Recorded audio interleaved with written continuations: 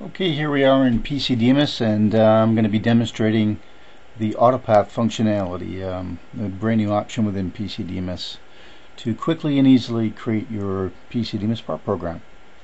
I've brought in a model and I've done a simple alignment with a plane and a line and a point and uh, I've just gone to DCC mode so uh, we're going to start right off and uh, let's say we go uh, pick a plane and we've got our void detection on so it automatically figures out where to go and uh, take those probe hits without uh, falling into a hole. So we'll take a couple of planes here on the top and on the front. And then maybe we'll go do some depth measurement. Take a point inside of that. And a point inside of that hole. And a point inside of this hole and then maybe we'll go grab some circles. First thing you have to do is uh, well you can go in and just select a bunch of holes if you'd like. Or you can select them one at a time. So we'll go continue that and uh, just measure a bunch of circles around the part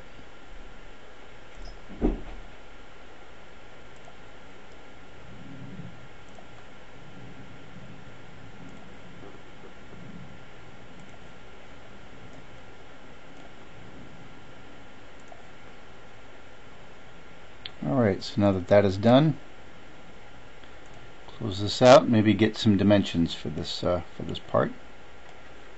Go back to location. Uh, I like to just select everything, keep it nice and simple. Put in a generic tolerance.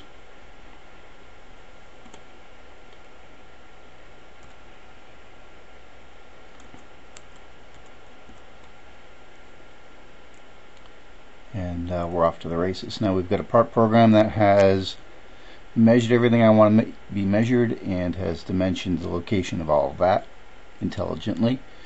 And uh, from here what I'm going to do is I'm going to unmark everything but my DCC features and I'm going to do an optimize. This is part of the AutoPath functionality.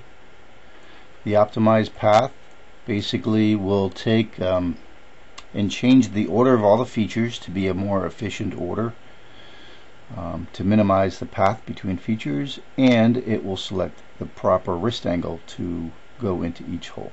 Let's go do that. And uh, it just optimized it by 50%. So that means it's 50% faster than what it would have been had I left it alone. So with that accomplished, what we're going to do is go back and um, just mark my DCC features again and we're going to learn moves automatically again with AutoPath around the part. As it does that what it will do is it will draw the path lines of all those moves for us. It will display them at which point we can now go and figure out if anything's going to crash by using our collision detection module. We'll let that get to the first feature.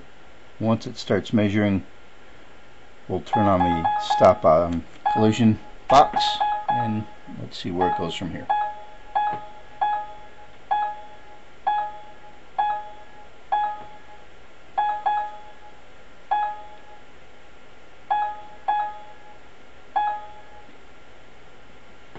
So notice it automatically selected the appropriate tip angle to get into that 45 degree angle hole and it will continue to do so uh, as it goes around the part.